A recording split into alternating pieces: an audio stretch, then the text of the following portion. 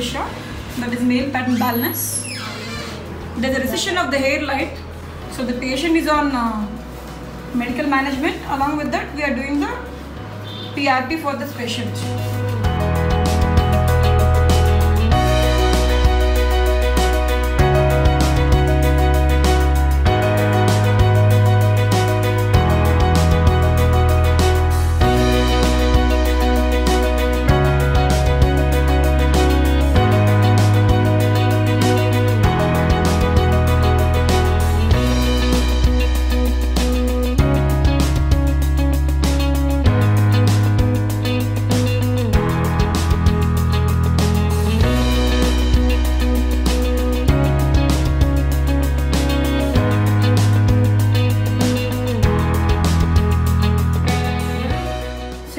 The test tubes, we have already collected uh, 12 ml of blood and we have used double spin method to extract the PRP solution.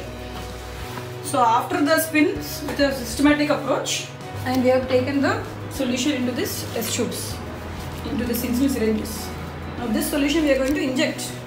After that the remaining solution we are just going to use the meso gun to create the channels and holes sometimes accidentally the solution is going to spill into the ice. So we have to use the safety precautions. Follow all the safety sterile precautions. Small pricks